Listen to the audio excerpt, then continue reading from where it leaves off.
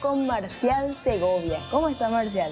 Hola Lima, un placer, gracias. Eh, bienvenido sea en la casa de mi señora. Muchas, gracias. gracias. Marcial, contame un poquito cómo vos empezaste en la música.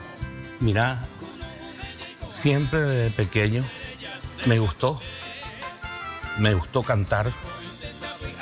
Mi papá fue uno de los fundadores de la Alegre Fórmula Nueva.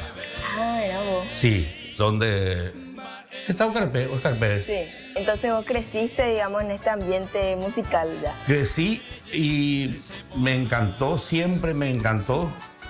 Eh, me acuerdo que cuando tenía ocho años, eh, hacia mi pueblo, mi pueblo Eugenio Agaray, se le dice Xananá. Hola, mi gente linda.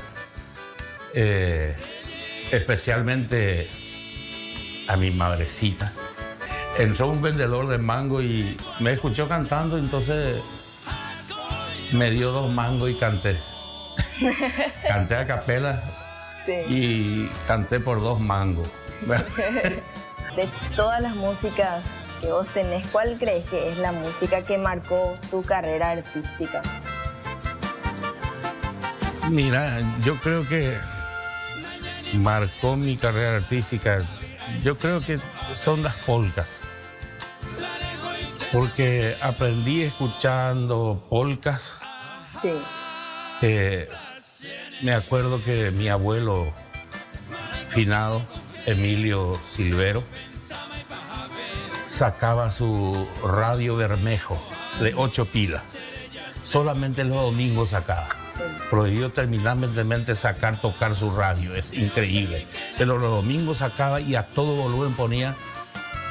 Y nunca en mi vida jamás pensé conocerle personalmente a un Vargas Saldívar, a Don Emilian Bay, a Acuña Oviedo.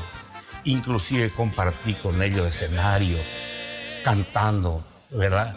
Es increíble, me da todo piel de gallina porque yo le escuchaba en la radio, ¿verdad? Y claro, que me gustaba. Y muchos artistas increíblemente, ¿verdad? Que, son talentosos. La música es mi fuerza y el consejo que le doy a los, a los jóvenes realmente que quieren seguir, especialmente la música, tiene que seguir y su, y su sueño realmente, tiene que seguir. Si agarra en serio realmente, mira, no hay profesión que no te valga.